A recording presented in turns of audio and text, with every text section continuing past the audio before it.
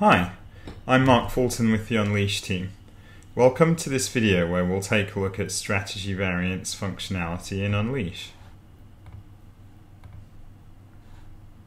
Before diving into the new strategy variants feature demo, it's important we start with some prior context, where we'll first define variants and its use cases, followed by a look into how variants has evolved in Unleash over the last few releases.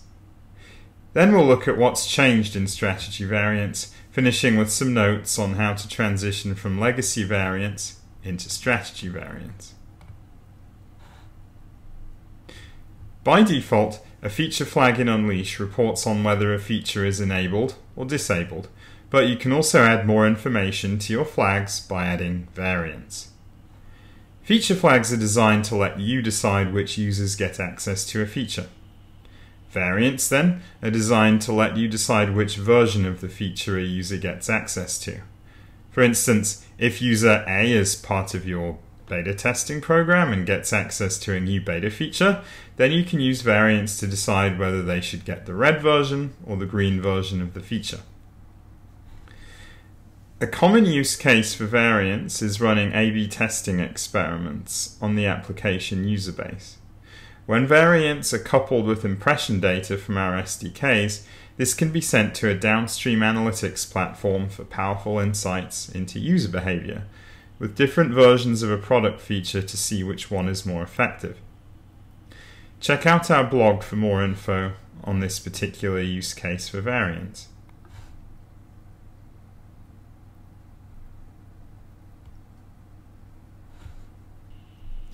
We introduced feature flag level variants during Unleash version 3.x.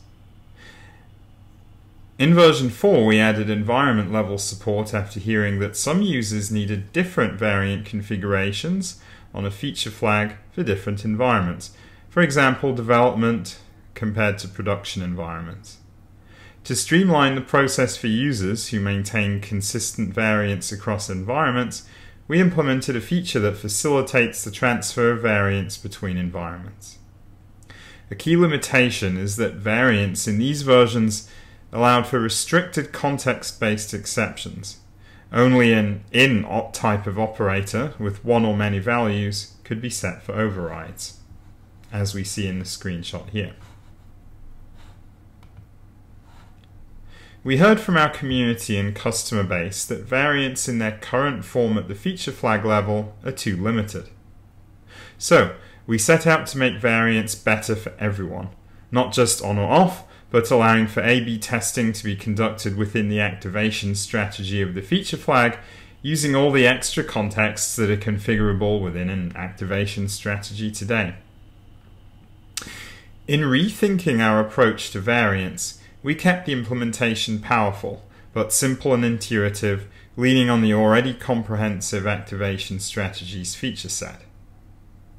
Now, instead of a standalone area of the UI under the feature flag configuration, we incorporated variants within activation strategies to benefit from percentage-based rollouts, constraints, and segments. As a result, every strategy now not only dictates an on or off status, but also associates an on condition with a specific variant. Variants can also be included as a default strategy if they are used all the time.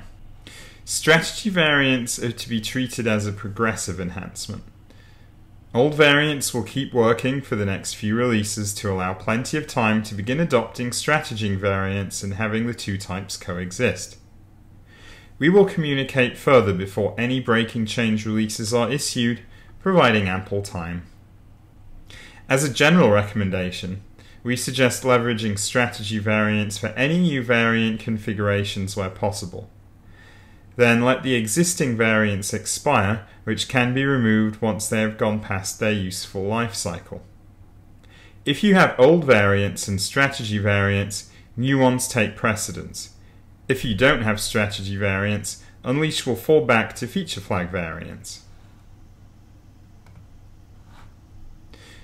Most critically, updates to SDKs are required for applications to support strategy variants. Our documentation covers language specific SDK information.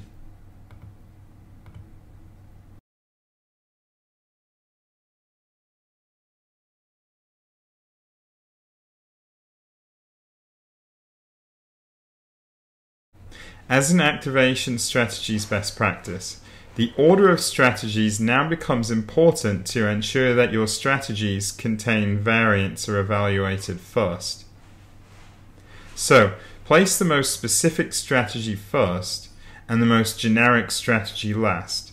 We'll explore this important concept hands-on in the demo.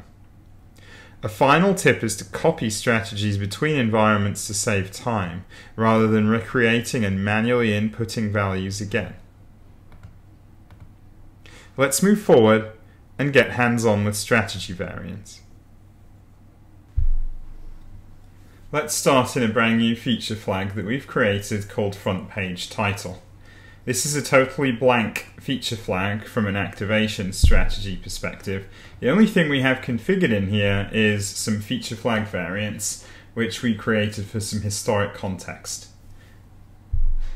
We see one variant created in the development environment with variant A and B, so this was set up for A-B testing. Let's take a look at this.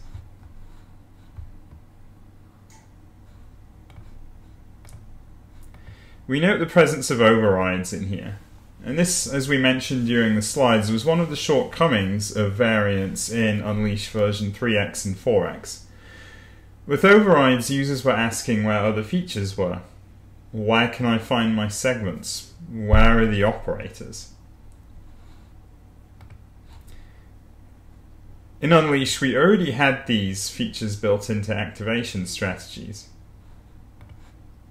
Therefore, instead of incorporating them into feature variants, it made sense to simplify, so variants were added to activation strategies where advanced context and segmentation already exist.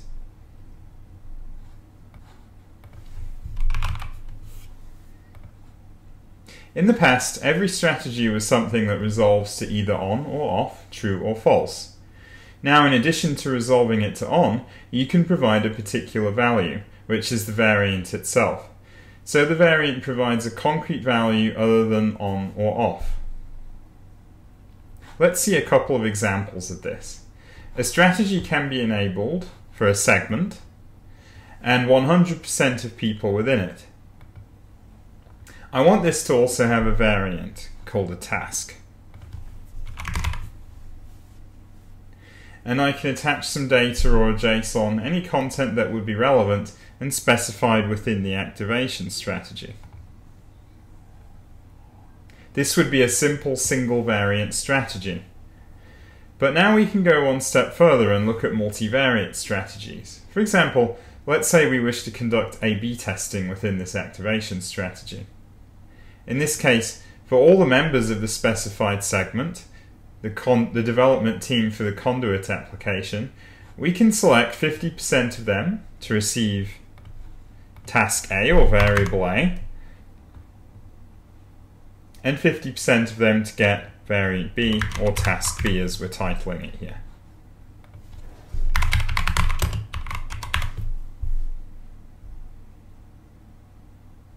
This is a similar capability we had before in feature flag variants, but now it's added to the strategy and therefore takes advantage of all the targeting capabilities we already have. Let's cancel out and explore a more in-depth use case to understand how the additional capabilities of strategy variants could be put into place in the real world. Again, in our new feature flag with no pre-existing strategies, let's say we want to show a dedicated page title only for our internal users. We have a segment with internal users already defined that we can leverage. Then, applying a variant to this strategy is straightforward, so that all the internal users get the same experience. One thing to call out is that within Unleash you can also title your strategies. This is especially useful for differentiating between them and understanding who they are targeting.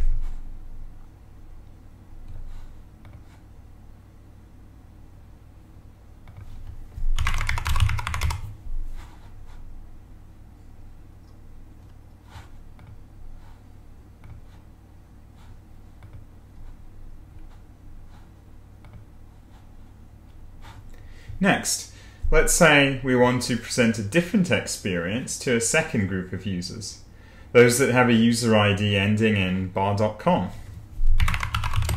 We'll title our strategy accordingly and select the appropriate constraint.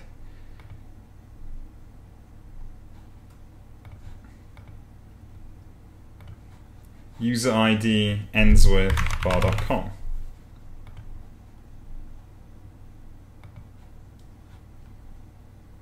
Then we configure the variant.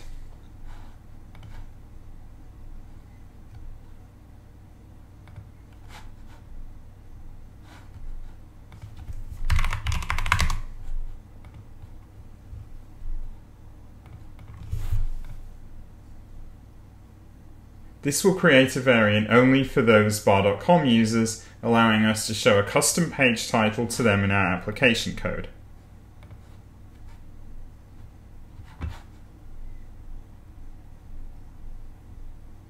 Finally, we need to define our strategy for all other users that don't match the segment or constraints. So for this one, there won't be any segments or constraints defined.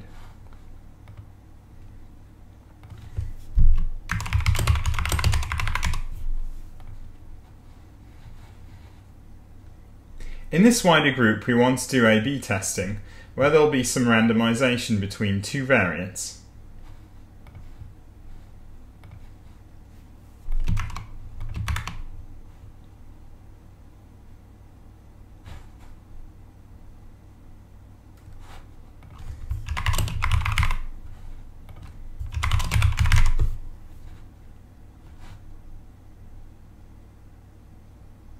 Unlike for the first two strategies, which have fixed values for individual targeting. By default, we split 50-50 between the two experiences, but this can be changed to a custom percentage if desired. The preview bar at the bottom will adjust according to the percentages set.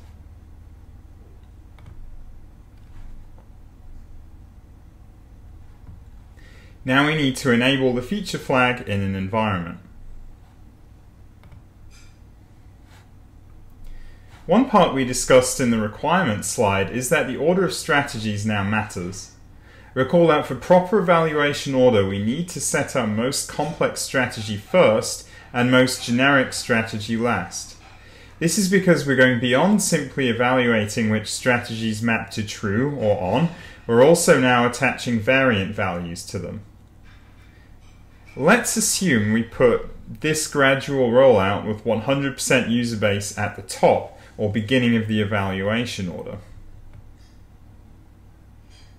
It would match every single user, so everyone would either see variant A or B and never hit the dedicated configurations. So the internal users or the constrained users wouldn't get targeted and see their respective customized experiences.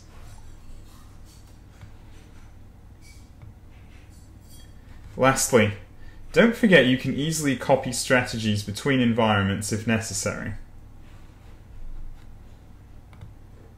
This will save time when making a feature flag available to other higher level environments.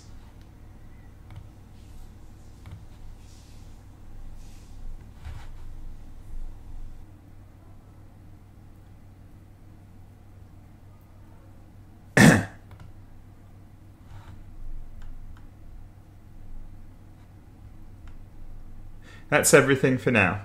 To recap, using strategy variants, we finished configuring a powerful set of strategies for our feature flag that target different sets of users in different ways, going beyond the limited overrides in the existing variants capability and simple on-off reporting. Thanks for watching.